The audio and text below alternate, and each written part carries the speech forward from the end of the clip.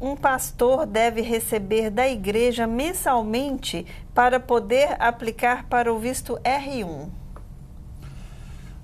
Ok, não tem um salário mínimo para o pastor.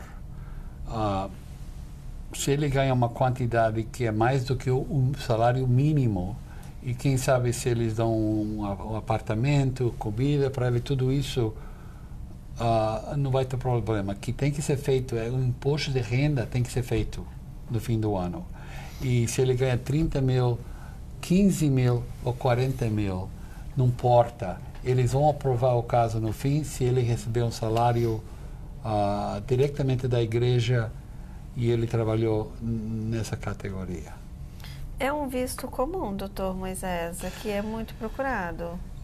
Era uh, antes mais procurado que hoje, mas uh, nós já fizemos muitos casos de uhum. R, 1 Uh, normalmente eu recebo casos que não deu certo com outros advogados, porque esse R1 não é tão complicado, mas eu penso que as pessoas não entendem o jeito para fazer isso. Uhum. E mais importante, quando a pessoa recebe o R1, eles têm que saber que ele tem que trabalhar para essa igreja para dois anos e receber um salário, dinheiro, e tem que fazer imposto de renda.